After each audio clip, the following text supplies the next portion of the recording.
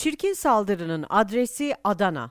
Geçtiğimiz günlerde Merkez Yüreğir ilçesinde 19 Mayıs mahallesinde bulunan Köprübaşı Polis Merkezi Amirliği'nde meydana gelen olayda maskeli bir şahıs karakolun araçlar için kullanılan otomatik kapısı kapanırken içeri girdi. Elindeki pompalı tüfekle havaya ve karakolun duvarlarına ateş eden saldırgan, karakoldaki polislerin de karşılık vermesi üzerine kaçarak uzaklaştı. Bu anlarsa güvenlik kamerasına saniye saniye yansıdı. Ekiplerin güvenlik kameralarını incelemesi sonucu saldırgan saklandığı evde yakalanarak gözaltına alındı. Emniyetteki ifadesinin ardından adliyeye sevk edilen saldırgan çıkartıldığı nöbetçi mahkemece tutuklandı.